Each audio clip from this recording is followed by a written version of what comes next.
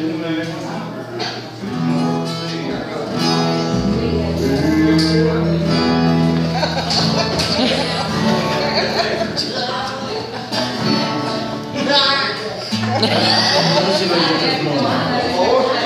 ever seen Melvin do Ernestine Bass?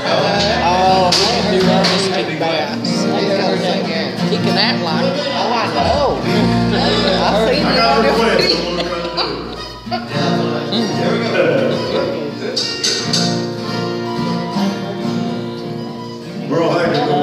said it was true. Oh, it actually happened. So we'll call it Kern River.